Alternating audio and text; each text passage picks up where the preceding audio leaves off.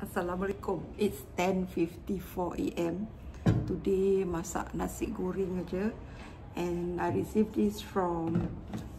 Okay, when I first read this, I read as uh, IV bucket. Then I realized that it's 4 bucket SG. Astaghfirullahaladzim. When I was looking at this one, nampak tak? Cuk B. I was thinking, apa benda cuk B ni eh? So today I masak nasi goreng biasa.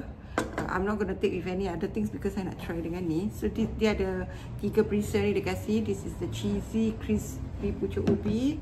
Then this is the curry crispy. Then this is the sambal goreng rangup pucuk ubi.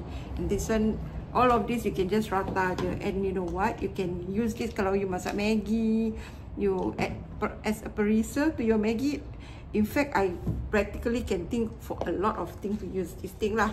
So this is the pucuk ubi. So this is the cheesy crispy. Bismillahirrahmanirrahim.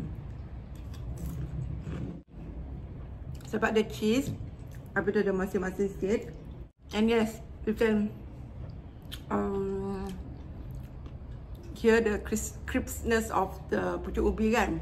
I think eh, benda ni taruh atas roti, makan pun sedap eh. Atau biskut, biskut yang plain tak ada perisa tu. And you just put sikit.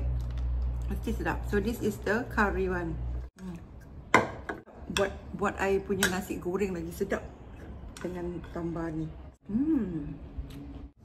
Curry one is good also. And this is the wow. Dari ikan bilis, sambal goreng, pucuk ubi, ada ikan bilis, ada oh ada tempe, okay. Dia punya rasa not as strong as uh, yang ni dua, but Of course it's crispy. But the one that added to my nasi goreng punya rasa kan is this too.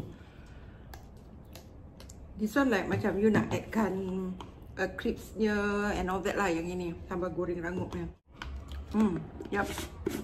The taste is not as um, strong as this two.